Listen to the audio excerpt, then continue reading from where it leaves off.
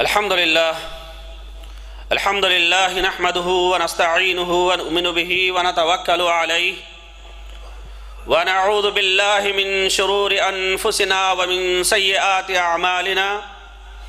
من يهده الله فلا مضل له ومن يضلله فلا هادي له. ونشهد أن لا إله إلا الله وحده لا شريك له ونشهد أن محمدا عبده ورسوله. أرسله بالحق بشيرا ونظيرا وداعيا إلى الله بإذنه وسراجا منيرا. أما بعد فقد قال الله عز وجل في القرآن المجيد أعوذ بالله من الشيطان الرجيم. بسم الله الرحمن الرحيم. ورحمتي وسعت كل شيء. అన్ని విధాల పొగడ్తలు సర్వ విధముల ప్రశంసలు సమస్త లోకాలకు ప్రభు అయిన అల్లాహ్కే అంకితం. అల్లాహ్ కృపా కటాక్షాలు మహాప్రవక్త మహమ్మద్ సలల్లాహు అలీహి వాలిహి వసల్లంపై ఆయనకు పూర్వం గతించిన ప్రవక్తలందరిపై సుజనులపై సత్యాన్వేషకులపై ఎల్లేడలా కురియుగాక.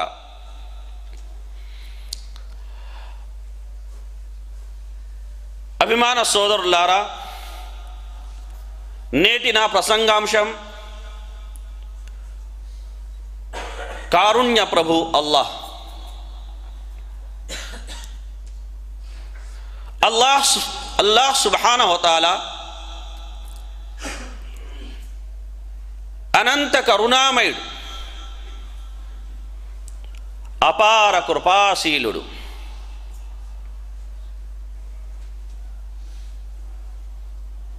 మనందరి కారుణ్య ప్రభు అల్లాహ్ సుబ్హాన హోతాలా మనందరి కారుణ్య ధర్మం ఇస్లాం మనందరి కారుణ్య గ్రంథం ఖురాన్ మనందరి కారుణ్య ప్రవక్త ముహమ్మద్ సల్లల్లాహు అలైహి వాలిహి వసల్లం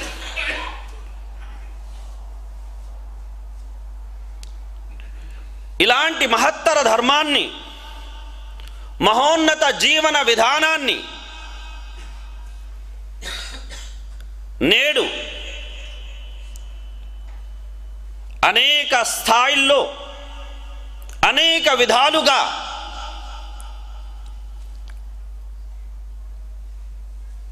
అగౌరవపరిచే అవమానపరిచే అపప్రదకు గురి చేసే ప్రయత్నాలు జోరుగానే సాగుతున్నాయి. ఎవరు ఎంత ప్రయత్నించినా ఒక కవి అన్నట్టు సముద్రానికి జిడ్డు పూస్తే చెడిపోతుందా? హిమగ హిమనగానికి బొగ్గు పూస్తే నల్లబడుతుందా? అలాగే చీకటి అనేది ఎన్ని రంగులు పులుముకొని వచ్చినా ఎప్పుడూ గెలిచింది లేదు. ఎవరు ఎంత ఆపాలని ప్రయత్నించినా కిరణ సంపుటి మాత్రం ఉదయించి తీరుతుంది.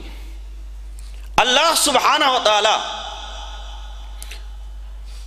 కారుణ్య ధర్మమైన ఇస్లాంను సమస్త జీవన విధానాల మీద ఆధిపత్యాన్ని ప్రసాదించేందుకు విజయాన్ని ప్రసాదించేందుకే అల్లాహ్ సుబాన హోతాలా అవతరింపజేశాడు. లియుద్హిరహు అలద్దీని కొల్లి. ఇది ఎవరికి ఇష్టమున్నా ఎవరికి కష్టమున్నా ఇది మాత్రం జరిగి తీరుతోంది అని అల్లాహ్ సుబాన హోతాలా ఖురాన్లో తెలియజేశాడు. కనుక ఇస్లాం గురించి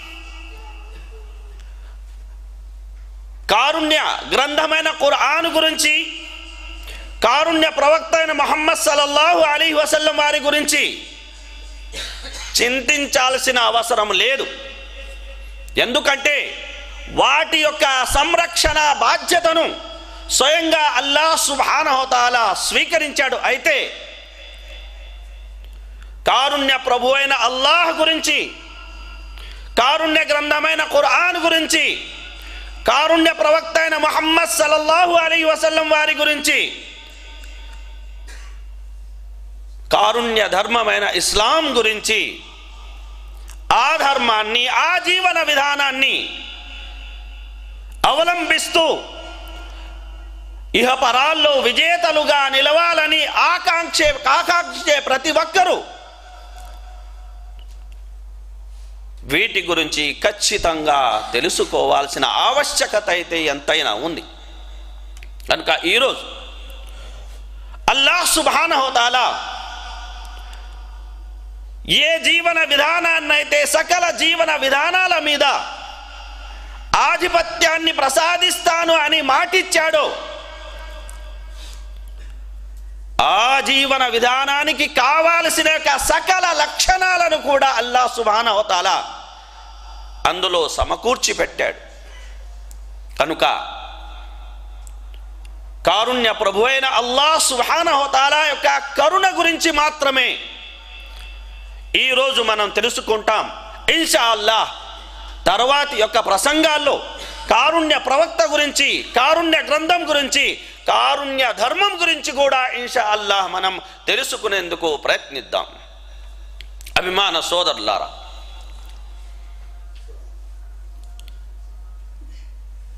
అల్లాహ్ సుబాన హోతాల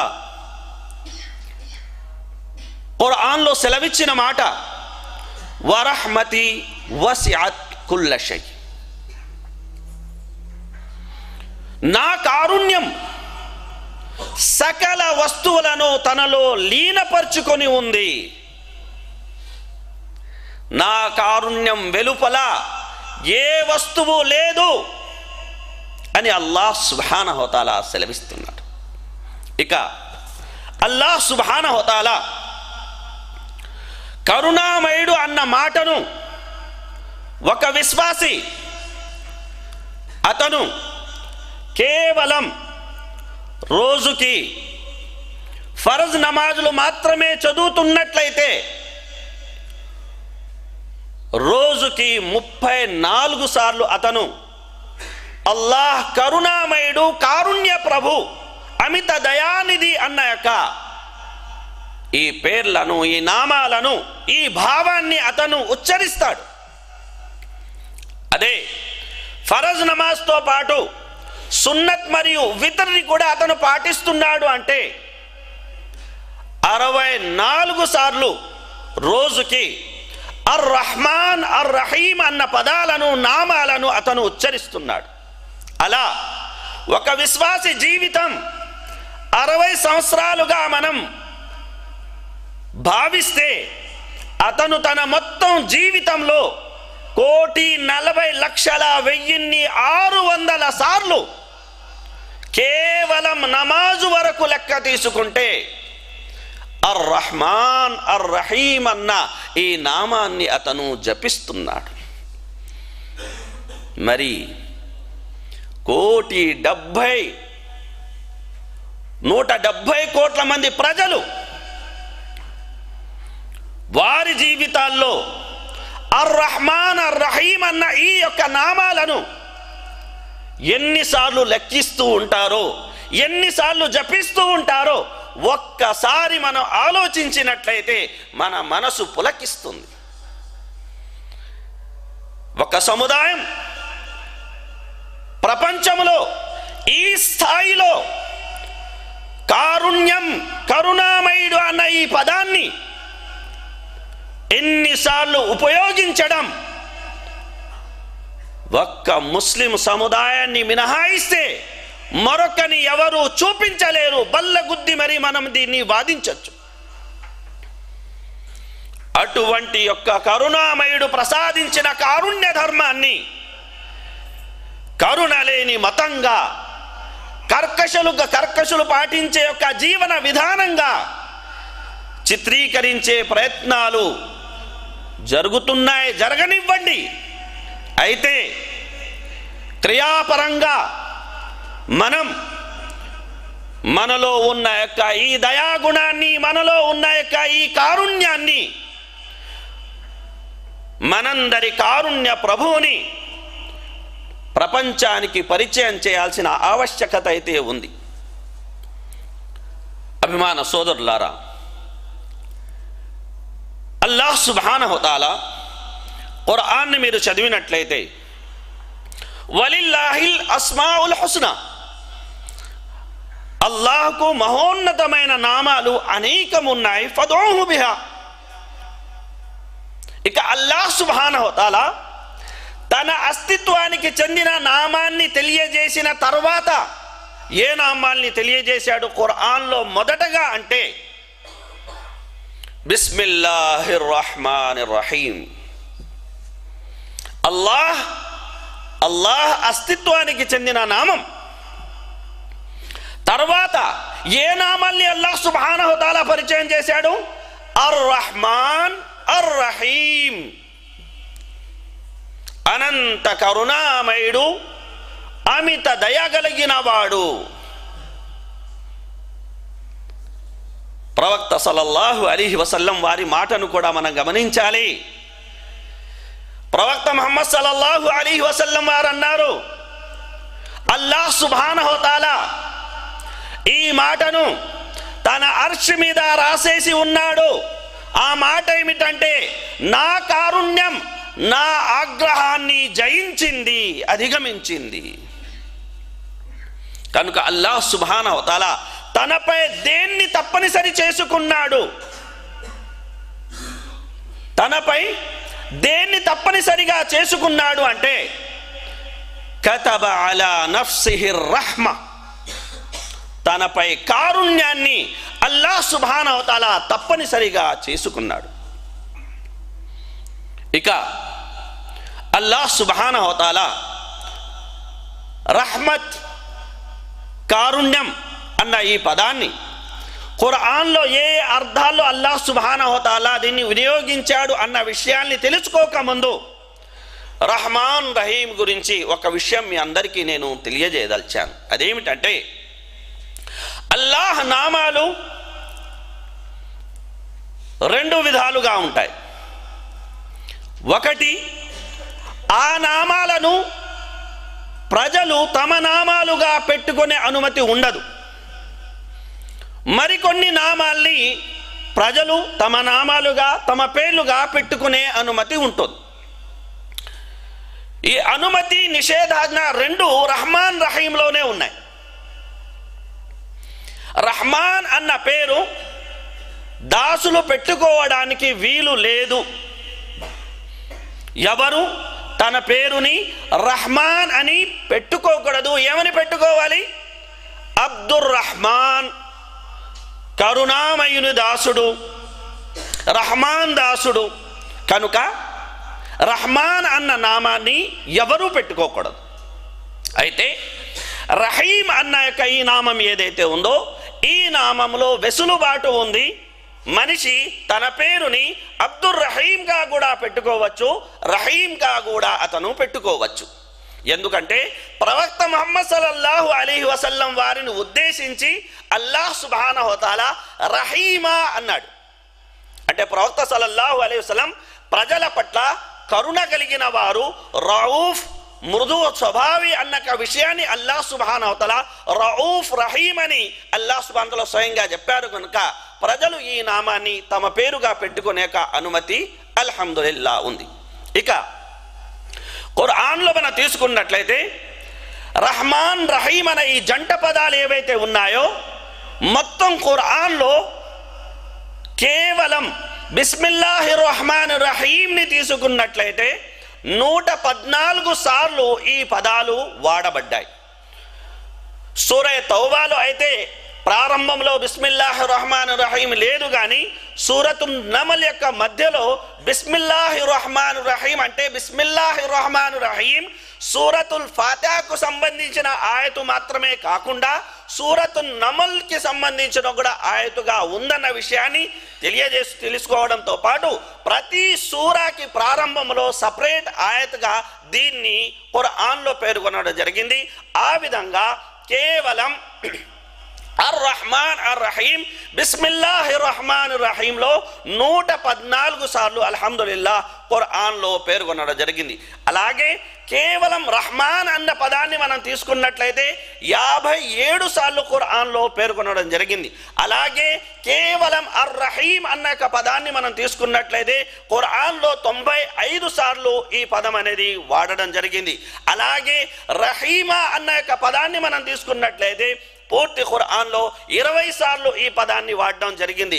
అలాగే రహ్మత్ ఈ పదాన్ని మనం తీసుకున్నట్లయితే దాదాపు రెండు వందల అరవై ఎనిమిది సార్లు ఈ పదం అనేది ఖుర్ఆన్లో వాడబడింది. కనుక ఖుర్ఆన్ కారుణ్య గ్రంథం అనడానికి దీనికి మించిన ఒక ఉదాహరణ అవసరం లేదు. ఎన్నిసార్లు కారుణ్య ప్రస్తావన ప్రపంచపు ఏ గ్రంథంలోనా ఉందా అని ఖచ్చితంగా మనము ప్రశ్నించవచ్చు అటువంటి యొక్క కారుణ్య గ్రంథం ఖురాన్ ఇక అల్లాహ్ సుబానహుతాల తన యొక్క కరుణను ఏ ఏ అర్థాల్లో వాడాడు అనే యొక్క విషయాన్ని మనం తీసుకున్నట్లయితే మొదటి యొక్క అర్థం ఖురాన్లో అల్లాహ్ సుబానహోతాల కరుణను తన గుణంగా పేర్కొన్నాడు. అల్లాహ్ సుబాన్ ఖురాన్లో కరుణను తన గుణంగా పేర్కొన్నారు ఈ విధంగా సెలవివ్వడం అనేది జరిగింది. వరహ్మతి వసియాత్ కుల్లషై రహ్మత్ ఎవరిది? నాది. వరహ్మతి నా కారుణ్యం. సకల విషయాలను తనలో లీనపరుచుకొని ఉంది అని అల్లాహ్ సుబానహతాల ఖురాన్లో తెలియజేయడమే కాకుండా వరబ్బుకల్ గనియు దుర్రహ్మ వరబ్బుకల్ గనియు దుర్రహ్మ ఈ కారుణ్యం అల్లాహ్ యొక్క గుణం మాత్రమే కాదు అల్లాహ్ ఆస్తి కూడా. రహ్మా. రహమత్ కల వ్యక్తి ఎవరు? కేవలం అల్లాహ్ సుబానహుతాలా మాత్రమే.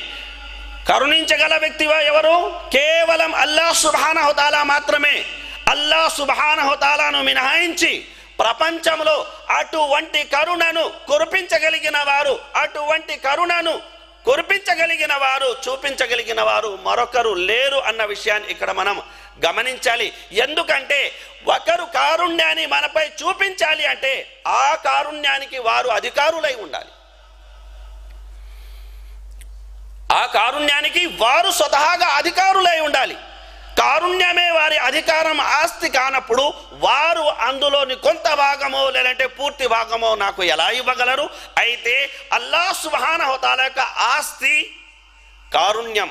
అలాగే ఖురాన్లో కారుణ్యాన్ని అల్లాహ్ సుబహాన హోతాల స్వర్గం అన్న యొక్క అర్థంలో అల్లాహ్ సుబహాన హోతాల ఖురాన్లో పేర్కొనడం అనేది జరిగింది. కనుక అల్లాహ్ సుబహాన హోతాల సూరతుల్ బకరాలో పేర్కొంటున్న యొక్క ఆయతను మనం తీసుకున్నట్లయితే ఉలాయిక యర్జూన రహమతల్లాహ్. ఎవరైతే అల్లాహను విశ్వసిస్తున్నారో ఎవరైతే ఐదు పూటల ప్రార్థనలు చేస్తున్నారో ఎవరైతే జకాతు విధిని తప్పనిసరిగా చెల్లిస్తున్నారో ఎవరైతే హజ్ను నిర్వర్తిస్తున్నారో ఎవరైతే సౌశీల్యవతులుగా జీవిస్తున్నారో సౌభాగ్యవంతమైన యొక్క జీవితాన్ని ఎవరైతే గడుపుతున్నారో వారు అల్లాహ్ నుండి దేన్ని కోరుకుంటున్నారు? ఉలాయిక యర్జూన రహమత్ అల్లాహ్ ఇక్కడ ఖురాన్ యొక్క వ్యాఖ్యానకర్తలు రహమతుల్లా అంటే స్వర్గం అన్న యొక్క అర్థాన్ని ఇక్కడ ఖురాన్ వ్యాఖ్యాకర్తలు చెప్పడం జరిగింది. అలాగే అల్లాహ్ సుబానహతల ఖురాన్లో తన కారుణ్యాన్ని దైవ దౌత్యంతో అల్లాహ్ సుబానతల ఈ భావన భావనలో కూడా పేర్కొనడం జరిగింది. కనుక సూర్య బక్రాలో నూట ఐదవ ఆయతల అల్లాహ్ సుబానవతల సెలవిస్తున్నాడు వల్లాహు యఖ్తస్సు బి రహ్మతిహి మయ్యషా వల్లాహు యఖ్తస్సు బి రహ్మతిహి మయ్యషా మక్కా వాసులు కానీ అంతకు ముందు నెక జాతి వారు కానీ ఆయా ప్రవక్తలకు కానీ లేదంటే అంతిమ దైవ ప్రవక్త మొహమ్మద్ సల్లల్లాహు అలీ వసలం వారిని కానీ విమర్శించేటప్పుడు చెప్పిన మాట ఏమిటంటే దైవ దౌత్యాన్ని ప్రసాదించడానికి దైవ ప్రవక్తగా ఎన్నుకోవడానికి అల్లాహకు మీరొక్కరే దొరికారా? వేరే వారు ఎవరు దొరకలేదా అంటే అల్లా సుబానదుల ఖురాన్లో అంటున్నాడు నేను నా దైవ దౌత్యాన్ని నాకు ఇష్టమైన వ్యక్తులకు నేను ప్రసాదిస్తాను. వల్లాహు యఖ్తస్సు బిరహ్మతిహి మయ్యష కనుక ప్రవక్తలు ఎంతమైతే ఉన్నారో ప్రవక్త ఈసా అలహిస్లాం ఈరోజు ఎంతో మంది ఆయన్ను నమ్మేవారు ఉన్నారు. నమ్మాల్సిన విధంగా నమ్మడం లేదు. అది వేరే విషయం. అయితే ఆయన్ను విశ్వసిస్తున్నారు. ఎందుకంటే ఆయన చూపిన కరుణ కారణంగా అయితే ఆయనలో ఉన్న ఆ కరుణ కూడా ఎవరి యొక్క ప్రసాదితం అంటే అల్లాహ్ సుబానహోతాల ప్రసాదితం. కేవలం ఈసా అలీహిస్లాం వారు మాత్రమే కాదు మూసా అలీహిస్లాం కానీ ఆదం అలీహిస్లాం కానీ నూహ్ అలీహిస్లాం కానీ ఇబ్రాహీం అలీహిస్లాం కానీ దావూద్ అలీహిస్లాం కానీ జక్రియా అలీహిస్లాం కానీ అంతిమ దైవ ప్రవక్త మొహమ్మద్ సల్లల్లాహు అలీ వసల్లం వారు కానీ ఎవరిలో ఏ స్థాయిలో కరుణ ఉన్నా అది కేవలం అల్లాహ్ ప్రసాదితమే తప్ప వారి యొక్క స్వయం సృష్టి ఎంత మాత్రం కాదు. కనుక అల్లాహ్ సుమానవతల ఖురాన్లో అంటున్నాడు ఫబిమ రహ్మతిం మినల్లాహి లింత లహుం. ఇది కేవలం అల్లాహ్ కారుణ్యం. నువ్వు వారి ఎడల మృదు స్వభావి అయి ఉన్నావు. గమనించండి ప్రవక్త సలల్లాహు అలైస్లం వారి జీవితాన్ని మీరు తీసుకోండి. ప్రజలు సహాబాలు ఏ కారణంగా ప్రవక్త సలల్లాహు అలైస్లం వారితో దగ్గరయ్యారు? ఆయన దగ్గర అధికారం ఉందనా? ఆయన దగ్గర అంగబలం మంది బలం ఉందనా? గమనించండి. ధనం ఉందనా? అందం ఉందనా? లేదు. కేవలం ప్రజలు ప్రవక్త మహమ్మద్ సల్లల్లాహు అలీ వసల్లం వారికి దగ్గర అవ్వడమే కాకుండా వీరాభిమానులుగా వారు రూపుదిద్దుకోవడమే కాకుండా ఆయన కోసం తన యొక్క తన మాన ధనాలను సైతం పణంగా పెట్టే స్థాయికి వారు చేరుకున్నారు అంటే అది కేవలం ప్రవక్త సలల్లాహు అలీ వసల్లంలో వారు చూసిన యొక్క ఆ కారుణ్య కారణంగానే ఈరోజు కూడా చాలామంది సోదరులు ఇస్లాం స్వీకరించి ఉన్నారు. వారు ఏ దేశానికి చెందిన వారైనా కావచ్చు ఏ భాష మాట్లాడే వారైనా కావచ్చు వెళ్ళి అడగండి వారిని. దేన్ని చూసి మీరు ఇస్లాం స్వీకరించారండి? కర్కశత్వాన్ని చూసి ఇస్లాం స్వీకరించారా? కాఠిన్యాన్ని చూసి ఇస్లాం స్వీకరించారా? హింసను చూసి ఇస్లాం స్వీకరించారా? వర్ణ వివక్షను చూసి ఇస్లాం స్వీకరించారా? అడగండి. వారందరి సమాధానం. వేరు వేరుగా ఉన్న అంతర్గతంగా మనకు కనబడే ఒకే అర్థం అదేమిటంటే కారుణ్యం. ఇస్లాంలో ఉన్న యొక్క ఈ కారుణ్య వ్యవస్థ కారణంగానే వారందరూ ఇస్లాం స్వీకరించారన్న విషయాన్ని మనం ఇక్కడ గమనించాలి. ఆ తర్వాత అభిమాన సోదరులారా అల్లాహ్ సుబానతల ఖురాన్లో కారుణ్యాన్ని ఖురాన్ను కూడా తన కారుణ్యంగా పేర్కొన్నాడు. కనుక అల్లాహ్ సుమాంతుల ఖురాన్లో అంటున్నాడు కుల్ బిఫద్లిల్లాహి వ బిరహ్మతి ఫబిదాలిక ఫల్యఫ్రహు. ఈ యొక్క గ్రంథం మీకు ఇవ్వడం అనేది అల్లాహ్ అనుగ్రహం అల్లాహ్ కారుణ్యం. అల్లాహ్ కారుణ్యం వల్లనే ఈ గ్రంథం మీకు ఇవ్వడం జరిగింది. కనుక ఖురాన్ ఏ విధమైన కారుణ్యం అనే విషయాన్ని మనం తర్వాత తెలుసుకుందాం. అయితే అల్లాహ్ సుబ్హానహు ఖురాన్లో తెలియజేసిన మాట ఏమిటంటే వైదా కురి అల్ ఖురాను ఫస్తమిఉ అన్సితు లఅల్లకుం తుర్హమూన్. ఖురాన్ పారాయణం జరుగుతున్నప్పుడు మీరు వినండి శ్రద్ధగా వినండి మౌనం వహించండి. తద్వారా మీరు కరుణించబడతారు. తద్వారా మీరు కరుణించబడతారు. కనుక ఖురాన్ని కూడా రహమత్ అన్న అర్థంలో అల్లాహ్ సుబానతల వాడారు. అలాగే వానను వర్షాన్ని అల్లాహ్ సుబానహతల తన కారుణ్యంగా పేర్కొన్నాడు. సూర్య ఆరాఫుల అల్లాహ్ సుబానతలు అంటున్నాడు వహువల్లది యూర్సులు రియాహ బుష్రం బైన ఎదై రహమతి. కనుక ఈ యొక్క ఆయతని వివరిస్తూ వివరిస్తూ తబరి రహమతుల్లా అలే అన్నారు ఇందులో రహమత్ అంటే వర్షమని. అలాగే అల్లాహ్ సుబానహతల కారుణ్యాన్ని ఉపాధితో కూడా అల్లాహ్ సుబానవతల పోల్చి చెప్పాడు. కనుక అల్లాహ్ సుబానవతల అన్నాడు ఔ అరాధని బిరహ్మ ఔ అరాధని బిరహ్మ. ఈ ఆయతులో షౌకాని రహమతుల్లాహ్ అలై అంటున్నారు.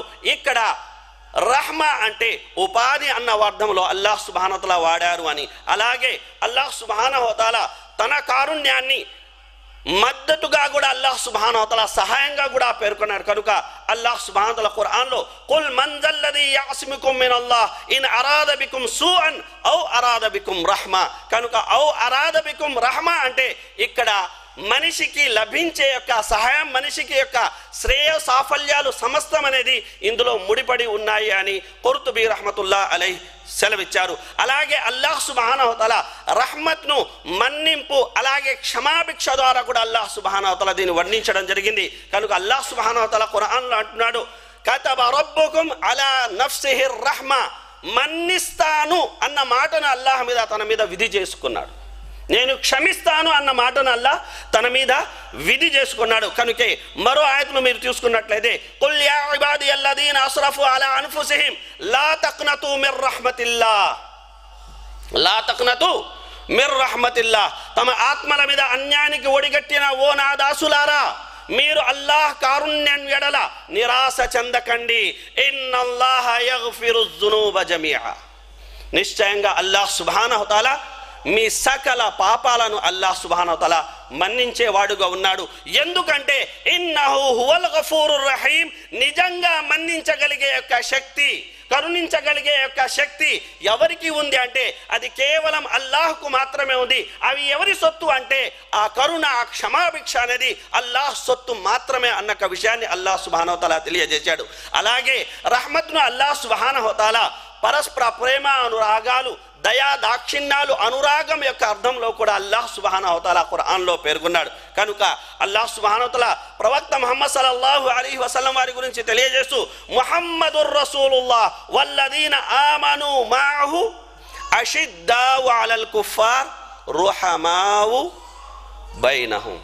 రుహమావు బైనహుం. వారు పరస్పరం ఇలా కరుణ హృదయులై ఉంటారు దయాద్రులై ఉంటారు అనే విషయాన్ని అల్లాహ్ సుబానతల పేర్కొన్నారు. అలాగే అల్లాహ్ సుబానతల ఖురాన్లో కరుణను సౌశల్యంతో కూడా అల్లాహ్ సుబానతల పోల్చాడు. కనుక అల్లాహ్ సుబానతల అంటున్నాడు ఇన్న నఫ్స ల అమ్మారతుం బిస్సు ఇల్లామా రహిమ రబ్బి. నేడు మనకు అందుబాటులోని ఆధునిక పరికరాల ఈ యొక్క ఆధునిక యుగములో తన శీలాన్ని కాపాడుకునేవాడు ఎవడు అంటే ఎవరి మీదైతే కరుణ ఉందో వాడు మాత్రమే అది చేయగలడు. అన్యదా ఈ యొక్క ఆధునిక పరికరాల యొక్క ఉచ్చులో యువత ఎంత బిగుసుకుపోతుందన్న ఒక విషయాన్ని ఇక్కడ మనం గమనించగలం. అలాగే అల్లాహ్ సుబానహతాల కరుణను పుణ్యం అనే అర్థంలో కూడా అల్లాహ్ సుబానతల వాడారు. కనుక అల్లాహ్ సుబానహతాల ఇన్న రహ్మతల్లాహి కరీబుం మినల్ ముహ్సినీన్ అన్నాడు. ఇన్న రహ్మతల్లాహి కరీబుం మినల్ ముహ్సినీన్. అలాగే అల్లాహ్ సుబానహతాల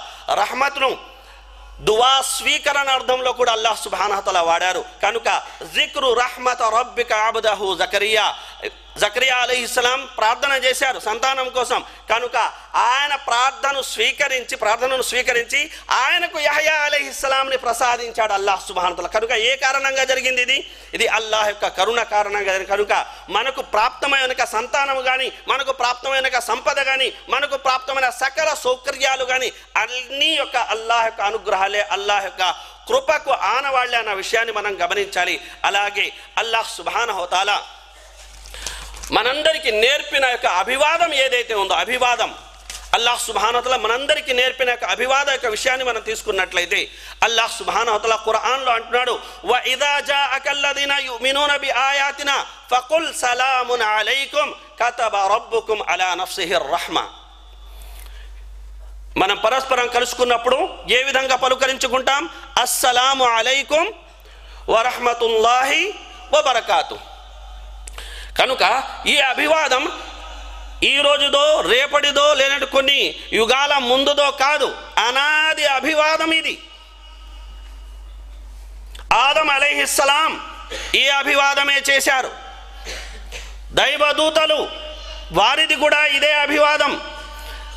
అల్లాహ్ సుభాన హోదాల స్వర్గవాసులకు చెప్పేది కూడా ఇదే అభివాదం. బతికి ఉన్నవారు చేసే అభివాదం ఇదే.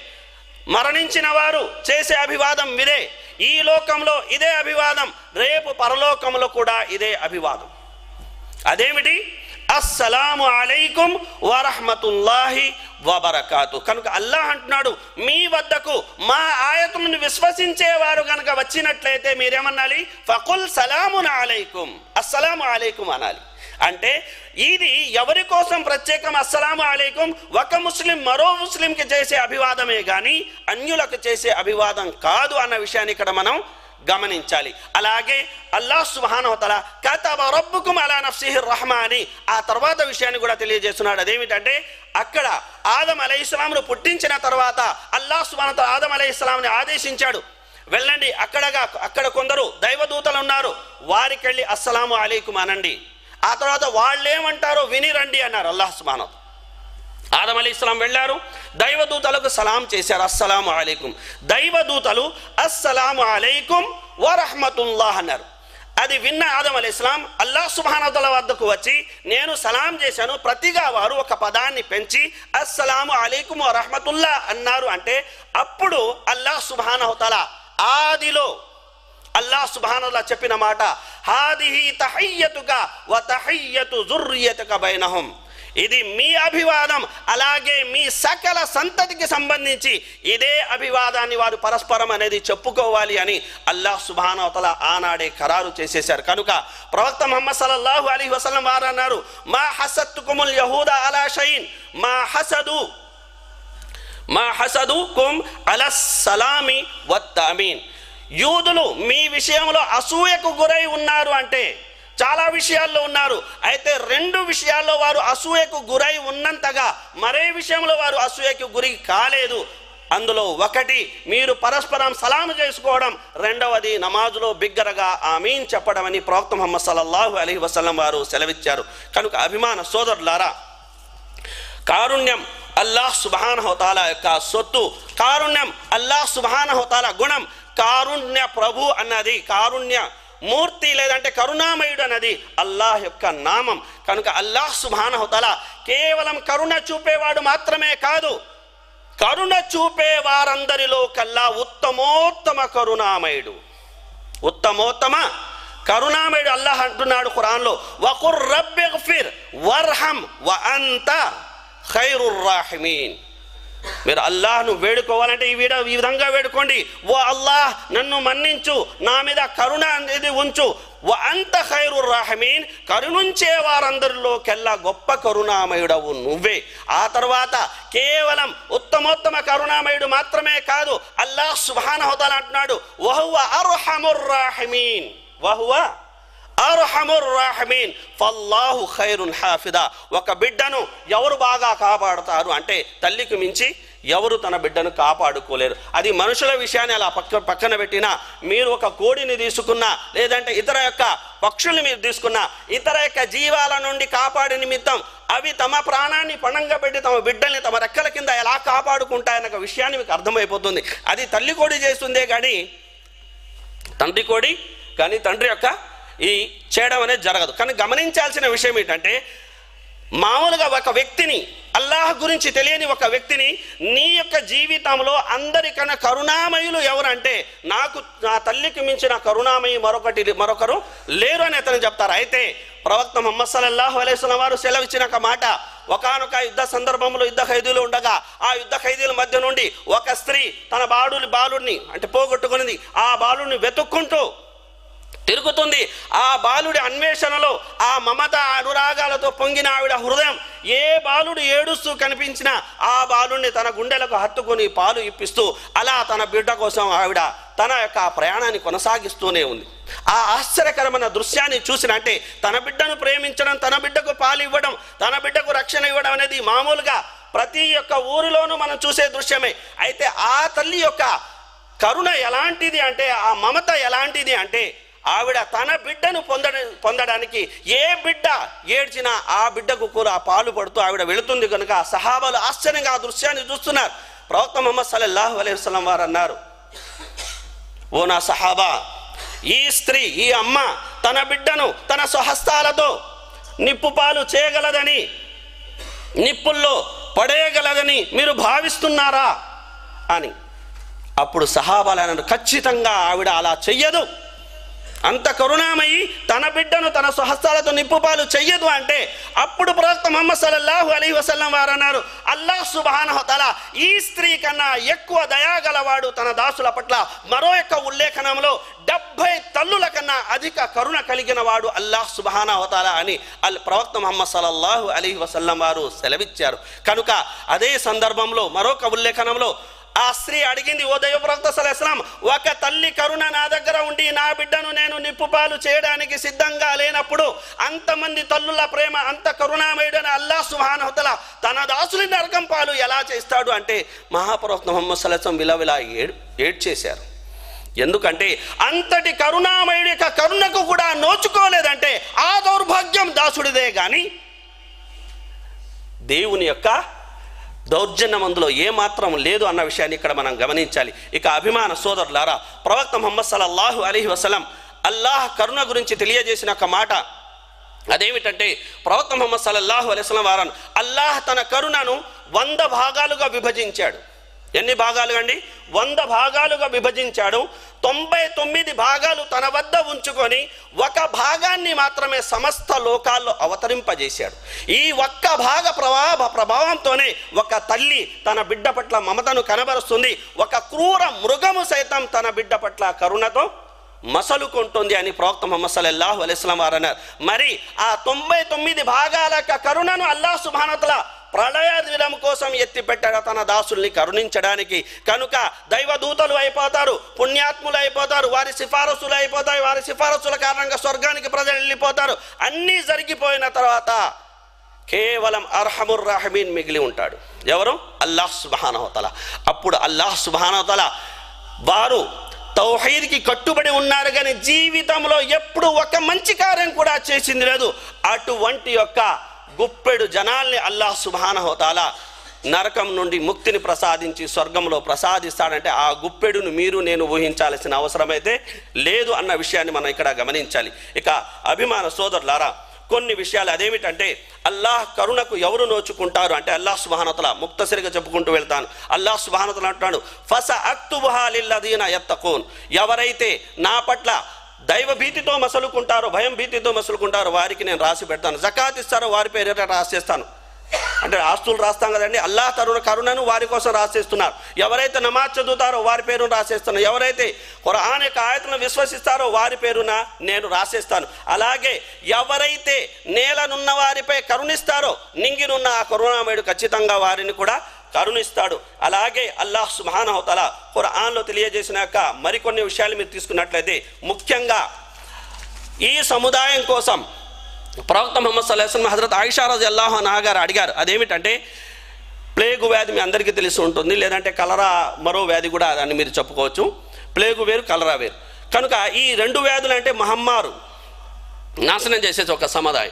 కనుక ఆయిషా రజి అల్లాహ్ అనాగారు అడిగారు ఈ ప్లేగు వ్యాధి గురించి అడిగారు ఈ ప్లేగు వ్యాధి ఎలాంటిది అంటే? ఆయిషా రజి అల్లాహు అనహగారు అడిగిన ఈ ప్రశ్నకు ప్రవక్త సలసం సమాధానం ఇస్తూ ఇది దైవ శిక్ష. ఈ శిక్ష ద్వారా తాను తలిచిన వారిని అల్లా శిక్షిస్తాడు. అయితే ఈ శిక్ష విశ్వాసుల విషయంలో కారుణ్యం. ఈ రోగ కారణంగా ఎవరైనా మరణిస్తే అతను షహీద్. అలాగే ఒక విశ్వాసి యొక్క కాలికి తగిలే గాయం కానీ గుచ్చుకునే ముళ్ళు కానీ అతని యొక్క పాపాన్ని క్షమిస్తుంది. వచ్చే జ్వరం కూడా అతని పాపాల్ని అని భస్మీపటం చేస్తుందని జ్వరాన్ని కారుణ్యంగా అల్లాహ్ మార్చేశాడు. అలాగే కలిగే చిన్న బాధను కూడా అల్లాహ్ సుబానతల కారుణ్యంగా మార్చే మార్చేశాడు. అలాగే మనందరికీ అల్లాహ్ సుబానతల నేర్పించిన దువాల్ని మనం తీసుకున్నట్లయితే మొట్టమొదటి దువా ఏదైతే అల్లాహ్ సుభానతలో చేయడం జరిగిందో మొట్టమొదటి దువా ఎవరు చేశారు అది కూడా? బంధుత్వం. బంధుత్వం ఇది ఏ పదం నుంచి వచ్చిందంటే రహమత్ నుంచే వచ్చింది. కనుక రహమత్ దాన్ని ఏమంటారు? రహీం అంటారు. బంధుత్వాన్ని ఏమంటారు? రహీం. అలాగే కడుపు యొక్క తల్లి యొక్క కడుపుని ఏమంటారు? బిడ్డ పెరిగే కడుపుని రిహం అంటారు. రిహం.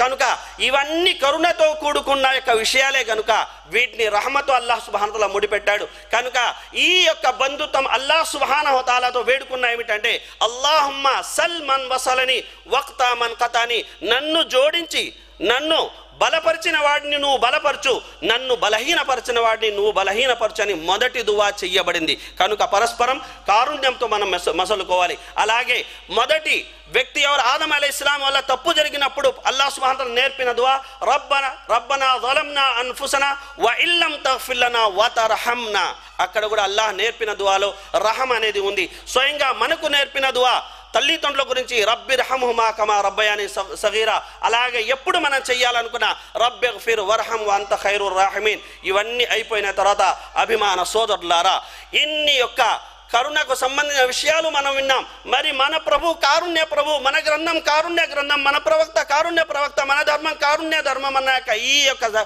సందేశాన్ని ప్రజల వరకు మనం చేరవేయాల్సిన అవసరం లేదా? అల్లాహ్ కారుణ్య ప్రభు అనే యొక్క వాస్తవం తెలియని కారణంగా కరుణక ఎటువంటి అధికారానికి నోచుకొని అనేక మిథ్యా దైవాల యొక్క దరికి వెళ్ళి ఎందరో తన యొక్క తమ జీవితాలను నాశనం చేసుకుంటున్నారు. అలాంటి వ్యక్తుల్ని మనం నిజమైన కరుణామయుడైన అల్లాహ్ సుబానహతాల వైపునకు ఆహ్వానించాల్సి ఉంది. అల్లాహ్ సుబానహతల మనందరికీ అనడం వినడం కన్నా ఎక్కువగా పాటించే యొక్క సద్బుద్ధిని ప్రసాదించడంతో పాటు సదా మనందరి మీద తన యొక్క కరుణా కటాక్షాలను కురిపిస్తూ ఉండాలని కోరుకుంటూ నా ప్రసంగాన్ని ముగిస్తున్నాను. బారక్ అల్లాహ్ బారక్ అల్లాహులనా వలకం ఫిల్ ఖురాన్ హకీం వనఫాని వయ్యాకుం బిల్ ఆయతి హకీం. ఇన్నహు తాలా గఫూర్ రహీం.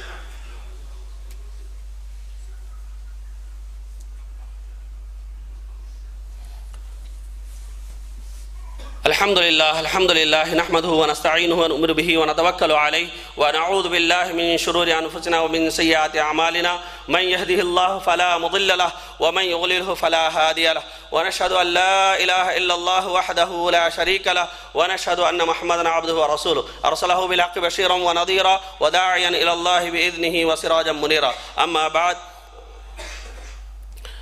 قال الله عز وجل في القرآن المجيد أعوذ بالله من الشيطان الرجيم بسم الله الرحمن الرحيم. إن الله وملائكته يصلون على النبي. يا أيها الذين آمنوا صلوا عليه وسلموا تسليما. اللهم صل على محمد وعلى آل محمد كما صليت على إبراهيم وعلى آل إبراهيم إنك حميد مجيد. اللهم بارك على محمد وعلى آل محمد كما باركت على إبراهيم وعلى آل إبراهيم إنك حميد مجيد. اللهم أعز الإسلام والمسلمين. اللهم أعز الإسلام والمسلمين. اللهم انصر الإسلام والمسلمين.